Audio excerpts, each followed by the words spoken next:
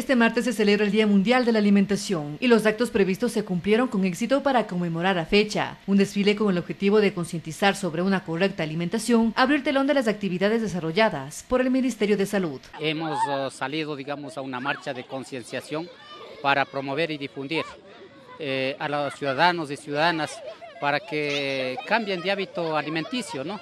Y desterrar en este sentido la comida chatarra y que se alimenten que se alimenten correctamente, nutritivamente. Lo importante del desarrollo de estos actos es concienciar sobre la ingesta de alimentos nutritivos que se dan en nuestra tierra. Por ejemplo, tenemos frutas nativas del medio, muchas frutas, más que todo en nuestra provincia que tiene una variedad de climas.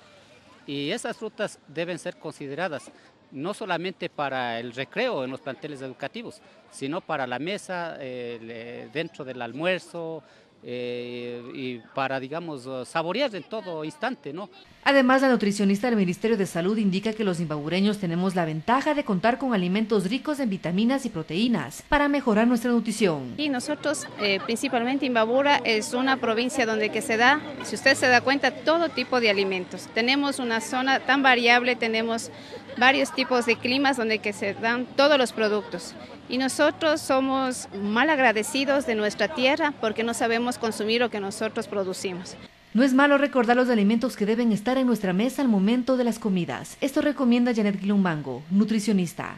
Una persona debería consumir en el desayuno lo que es un cereal, un pan, fruta, especialmente eh, de preferencia que sea troceada, no eh, consumir como jugo, ¿no? porque ya el momento en que le licuamos ya vamos perdiendo un poco de vitaminas, entonces de preferencia si es posible la fruta eh, en sí.